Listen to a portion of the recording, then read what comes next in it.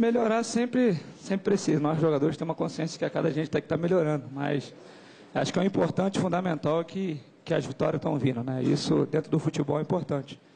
Então isso é importante nesse momento, até porque as competições estão chegando no, no seu momento importante. Importante é ter vitória. A vitória ela dá, dá confiança para todos os jogadores, isso está sendo fundamental para todos. O que você acha? A primeira a gente tem que pensar no Bragantino, né? Porque é o jogo mais recente que nós temos agora, que é quarta-feira. Temos que pensar no Bragantino primeiro para depois pensar no Corinthians, até porque o jogo do Corinthians é no domingo, né? Então a gente tem que, tem que se concentrar nesse jogo aí de, de quarta-feira, que é importante também, para depois pensar no Corinthians.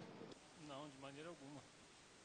Acho que se tratando ainda no, de São Paulo, né, um clube como São Paulo, muito pelo contrário, estou muito feliz de estar aqui, estar disputando a Libertadores, estar podendo estar em primeiro do nosso grupo, estar podendo aí disputar uma, uma fase também na final, para as finais do, do Paulista, né? Então a gente vai em busca desses objetivos.